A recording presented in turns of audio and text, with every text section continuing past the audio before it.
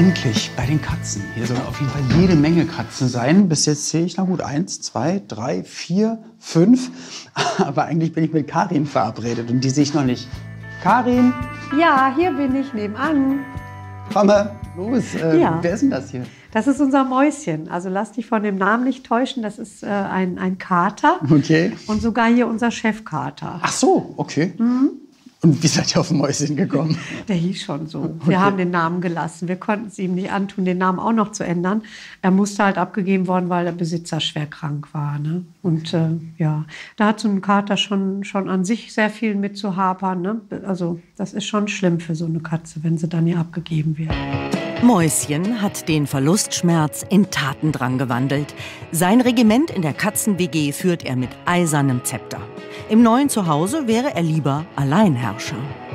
Wer ist da gerade oben beim Mäuschen? Das ist der Bandit. Das ist eigentlich der, der vorherige Chef gewesen. Nee. Ja, und seitdem eigentlich jetzt Mäuschen ihm den Rang abgetreten hat, ist Bandit jetzt deutlich entspannter. Also irgendwie haben die das ganz gut jetzt für sich gemanagt. Also Es kommt mir so vor, als ob das im gegenseitigen Einvernehmen war. Dass Ja. äh, Bandit gesagt hat, so nach 30 Jahren im Beruf, ich muss jetzt langsam. Genau, so kommt es uns auch vor, weil Bandit war vorher wirklich ein bisschen ungenießbar, also auch ein bisschen unberechenbar.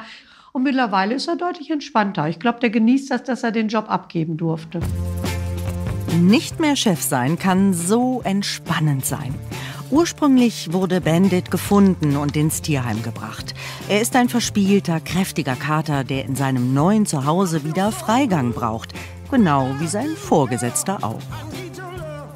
Zwei grundverschiedene Führungspersönlichkeiten, Mäuschen und Bandit, zwei und drei Jahre alt. Und wenn Sie sich vielleicht für einen der zwei Chefs entscheiden, dann melden Sie sich gerne hier direkt im Tierheim in Paderborn. Wir gehen jetzt noch mal in ein anderes Zimmer, denn äh, da haben wir noch eine Verabredung. Nicht alle Katzen kommen mit der Gruppenhaltung klar. Nebenan wohnt jemand im Einzelzimmer. Aus gutem Grund. Und wer ist das jetzt hier? Ist das unsere Verabredung? Genau, das ist dein Date.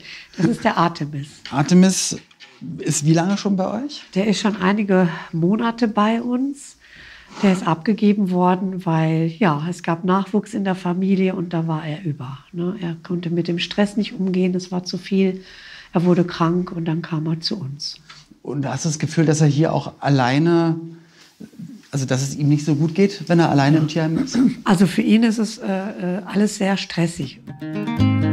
Artemis hat ein Problem. Er reagiert auf Stress mit Übelkeit. Als er im Tierheim mit mehreren anderen Katzen zusammenwohnen musste, wurde ihm regelmäßig schlecht. Kann man was über seinen Charakter sagen, dass er eigentlich ein aufgeschlossener, verspielter, verschmuster Kerl ist? Alles, alles. Ja. Er ist wirklich, der ist total verschmust und äh, der wäre aber, ja, er hat es verdient, einfach mal die Nummer eins zu sein und nicht die Nummer 72. Ne? Und äh, es ist wirklich ein ganz traumhafter, toller Kater. Also wirklich. Ich weiß nicht, warum er noch hier ist. Ich, ich bin so glücklich, dass ich Artemis kennenlernen durfte. Und wenn Sie das Gefühl haben, Artemis, ja, der würde zu uns nach Hause passen, dann wirklich sehr, sehr gerne hier im Tierheim in Paderborn melden. Und ich verabschiede mich an dieser Stelle aus Ostwestfalen. Und ja, bis ganz bald.